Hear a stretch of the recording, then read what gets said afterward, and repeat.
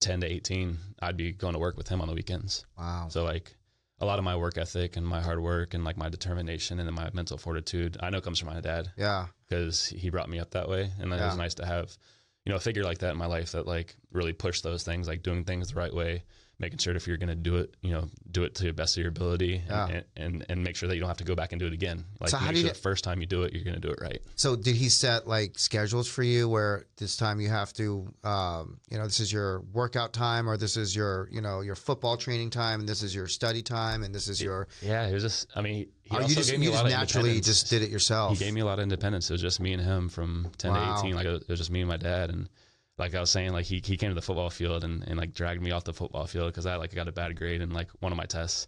And he was like, I told you, like, you're not going to have this if you don't focus on this first. Wow.